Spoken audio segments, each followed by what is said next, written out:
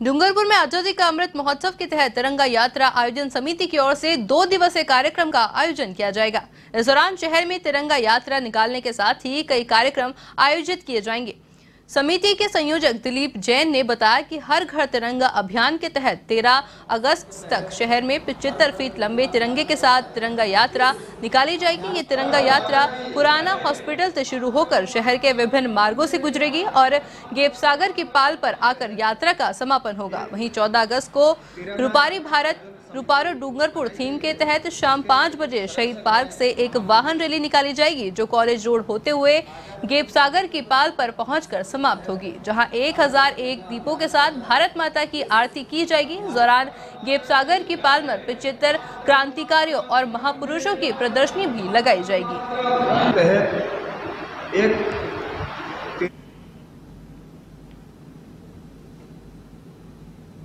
हमने एक तिरंगा यात्रा आयोजन समिति बनाई है, जिसमें दो कार्यक्रम करने जा रहे हैं। तेरह तारीख को सुबह राष्ट्र के नाम तिरंगा यात्रा, वो पुराने हॉस्पिटल से 10 बजे यात्रा पिंचुत्तर फीट झंडे के साथ निकलेगी।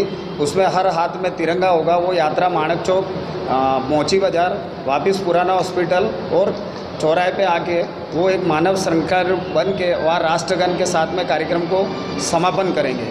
और इसके बाद चौदह तारीख की शाम को शहीद पार्क से रूपारो भारत, रूपारो डूंगरपुर तिरंगा यात्रा के नाम से वाहन रैली का कार्यक्रम होगा। और उस कार्यक्रम में हम सभी राष्ट्रभक्त नगरवासियों से अपील करते हैं कि ये कार्यक्रम राष्ट्र का है, आपका है। हम सब मिलके इस कार्यक्रम को भव्य बना